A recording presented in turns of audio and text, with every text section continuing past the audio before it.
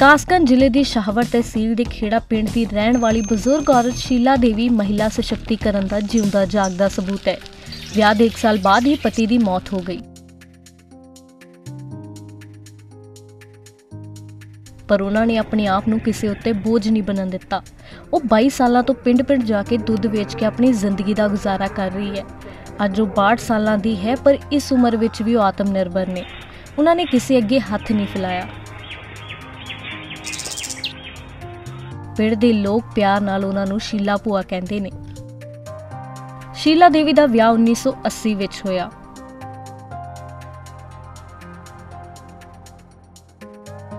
ਵਿਆਹ ਦੇ 1 ਸਾਲ ਬਾਅਦ ਹੀ ਉਹਨਾਂ ਦੇ ਪਤੀ ਦੀ ਮੌਤ ਹੋ ਗਈ। ਇੰਨੀ ਛੋਟੀ ਉਮਰੇ ਹੀ ਉਹਨਾਂ ਉੱਤੇ ਮੁਸ਼ਕਲਾਂ ਦਾ ਪਹਾੜ ਟੁੱਟ ਗਿਆ। ਆਪਣੀ ਪਤੀ ਦੀ ਮੌਤ ਤੋਂ ਬਾਅਦ ਸ਼ੀਲਾ ਦੇਵੀ ਆਪਣੇ ਪਿਤਾ ਦੇ ਘਰ ਪਿੰਡ ਖੇੜਾ ਆ ਕੇ ਰਹਿਣ ਲੱਗ ਗਈ। ਉਹ ਕਿਸੇ ਉੱਤੇ ਵੀ ਬੋਝ ਨਹੀਂ ਬਣਨਾ ਚਾਹੁੰਦੀ ਸੀ।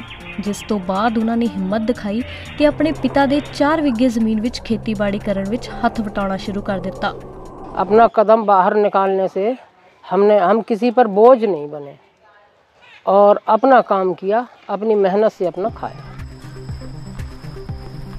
ਸ਼ੀਲਾ ਦੇਵੀ ਦੀ ਜ਼ਿੰਦਗੀ ਟ੍ਰੇਨ ਟਰੈਕ ਤੇ ਆ ਹੀ ਗਈ ਸੀ ਕਿ 1 ਸਾਲ ਦੇ ਅੰਦਰ ਉਸਦੇ ਪਿਤਾ ਤੇ ਮਾਂ ਦੀ ਮੌਤ ਹੋ ਗਈ ਪਰ ਸ਼ੀਲਾ ਦੇਵੀ ਦੇ ਸਖਤ ਇਰਾਦਿਆਂ ਨੇ ਹਿੰਮਤ ਨਹੀਂ ਹਾਰੀ ਰੋਜ਼ੀ ਰੋਟੀ ਕਮਾਉਣ ਲਈ ਉਹਨਾਂ ਨੇ ਇੱਕ ਦੋ ਮੱਝਾਂ ਖਰੀਦੀਆਂ ਤੇ ਫਿਰ ਦੁੱਧ ਦਾ ਕੰਮ ਸ਼ੁਰੂ ਕੀਤਾ ਉਹਨਾਂ ਨੇ ਨੇੜਲੇ ਕਸਬਿਆਂ ਵਿੱਚ ਸਾਈਕਲ ਤੇ ਦੁੱਧ ਵੇਚਣਾ ਸ਼ੁਰੂ ਕੀਤਾ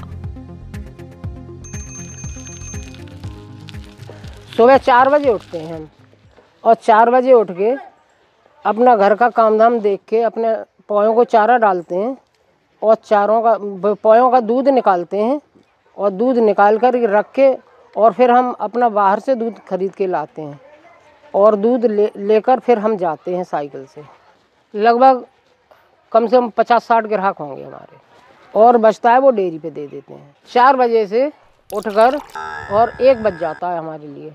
एक बजे घर वापस लौटते हैं और फिर पाँच बजे शाम को चले जाते हैं। अपने आप बनाते हैं खाना और खाना बनाकर चार बजे खाना खाते हैं। चार बजे, साढ़े तीन बजे।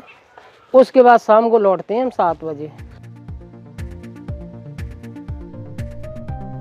ਉਹਨਾਂ ਦੇ ਰੋਜ਼ ਦੇ ਕੰਮਾਂ ਦੀ ਗੱਲ ਕਰੀਏ ਤਾਂ ਉਹ ਸਰਦੀਆਂ ਹੋਣ ਜਾਂ ਗਰਮੀਆਂ ਸਵੇਰੇ 4 ਵਜੇ ਉੱਠਦੇ ਨੇ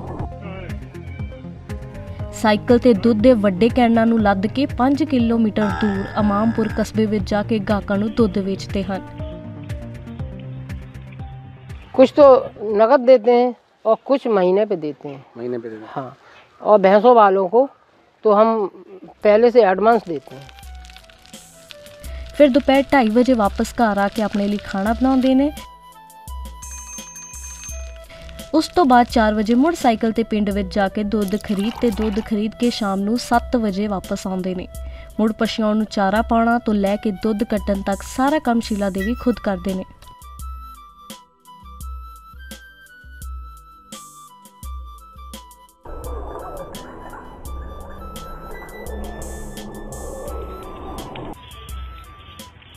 कि हमारी पेंशन भी कट गई है और जो पाँच लाख का कार्ड मिल बनता है वो भी हमारा नहीं बना है स्वास्थ्य विभाग का और दो हज़ार रुपये जो आ रहे थे खेती किसानी के वो भी नहीं आ रहे हैं हमारा कोई है नहीं हम जाके साइकिल से दूध बांटते हैं योगी सरकार से हमारा निवेदन है कि हमारा सहयोग करें ਪਤੀ ਤੇ ਮਾਪਿਆਂ ਦੀ ਮੌਤ ਤੋਂ ਬਾਅਦ ਸ਼ੀਲਾ ਭੂਆ ਨੇ ਕਿਸੇ ਅੱਗੇ ਹੱਥ ਨਹੀਂ ਫੈਲਾਏ ਸਖਤ ਮਿਹਨਤ ਕਰਕੇ ਉਹ ਆਤਮ ਨਿਰਭਰ ਬਣੀ ਤੇ ਆਪਣੇ ਮਜ਼ਬੂਤ ਇਰਾਦਿਆਂ ਨਾਲ ਉਹ ਕਰ ਵਿਖਾਇਆ ਜਿਸ ਨੂੰ ਦੇਖ ਲੋਕ ਦੰਦਾਂ ਹੇਠ ਉਂਗਲੀਆਂ ਦੱਬ ਲੈਂਦੇ ਨੇ ਉਹ ਆਪਣੇ ਕੰਮ ਵਿੱਚ ਮਾਣ ਮਹਿਸੂਸ ਕਰਦੀ ਹੈ।